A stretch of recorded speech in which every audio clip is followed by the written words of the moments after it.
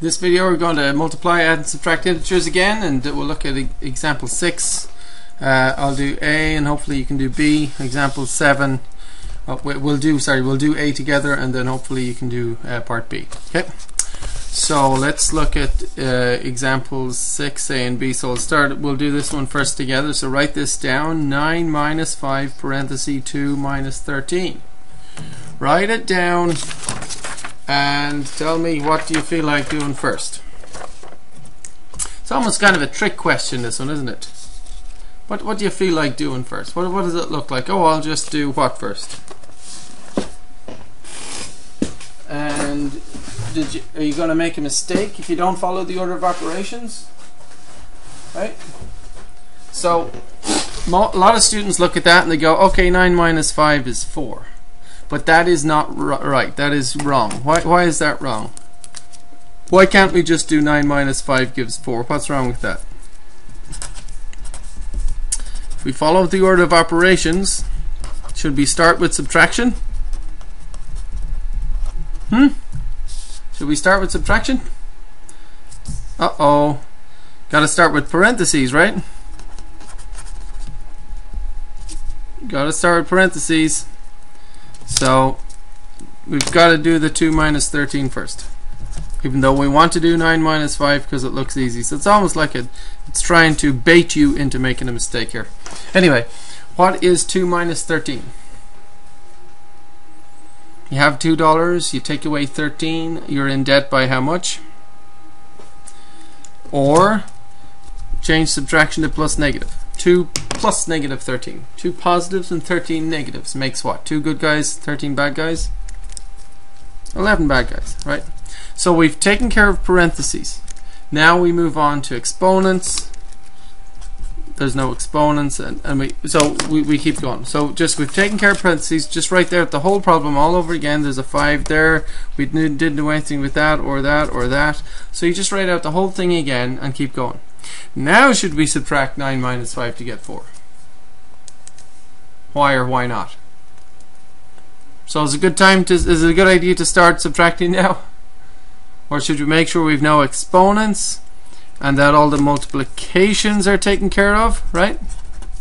And the divisions and then we can add or subtract, right? So we've got to do parentheses and then exponents, then multiply or divide, and then add or subtract, right?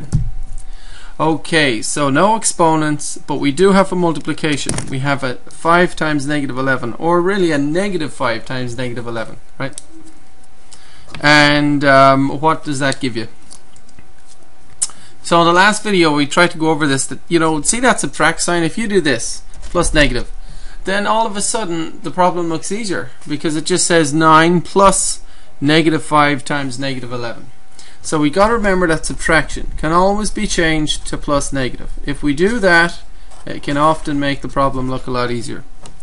Because now it'll say 9 plus, see that plus sign goes down, and negative 5 times negative 11 is 55. Positive, right? And what's 9 plus 55? So now we can, oh, there was no subtraction. See that? now we can add. 9 plus 55, 64. So press pause, write down this one, and do it all yourself. And if you make a mistake, that's no big deal because then you can just watch the video and learn something. So 18 minus 8 times, in parentheses, 1 minus 11. Press pause, try it yourself, and then I'll do it. Okay, I hope you pressed pause and tried it. Again, the temptation is to subtract first. But why would you subtract first? You Got to remember the order of operations. We got to do all the parentheses first. Got to do parentheses first. 1 minus 11. $1. Take away $11. You're in debt. Or 1 plus negative 11. 1 guy, good guy plus 11 bad guys. Makes 10 bad guys. So we took care of parentheses first. Now we'll write out the whole problem all over again. And we might want to subtract. But should we subtract? No, because the order of operations, subtraction and addition come at the end. The next thing we've got to look for is exponents, but there's no exponents. Then we've got to multiply or divide. There is a multiply. We've got to multiply next. See? Because it says negative 8 times negative 10. Again, like that's that's a subtraction sign, but it, it's also just a negative sign. They're the same thing. And just to make it easier, to make it look nice, you can do this, plus negative. See that? 18 plus negative 8 times negative 10. So we've got to do our multiplications before we add or subtract, right? Our multiplication here is negative 8 times negative 10. Negative times negative gives positive 80. And we write out the whole problem because we've got plus 18. 18 plus 80. What's that? 98, right? Okay, example 7. Write down part A.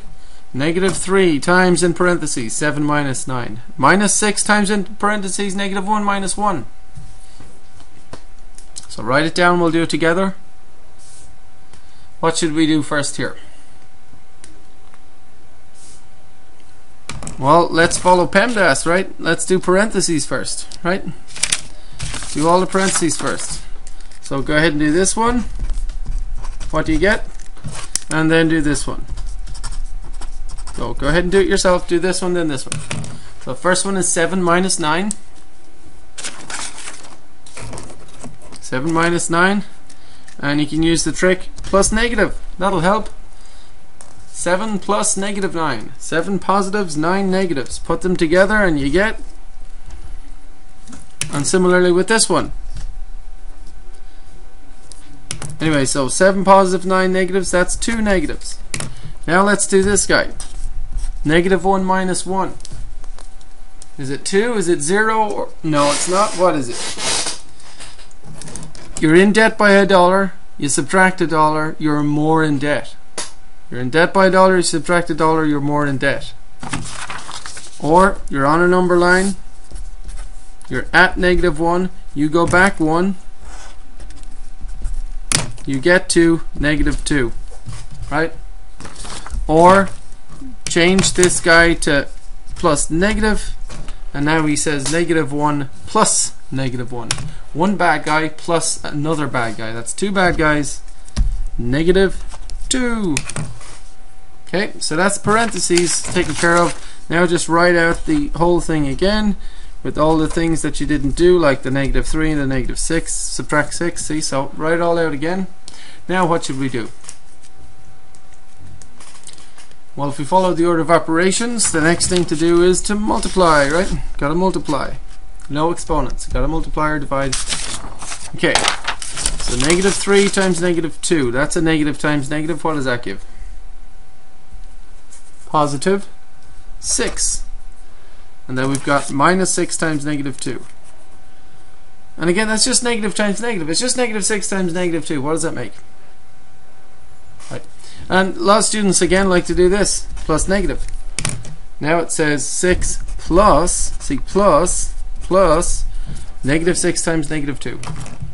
Negative 6 times negative 2 is positive 12. So we have 6 plus 12, 18.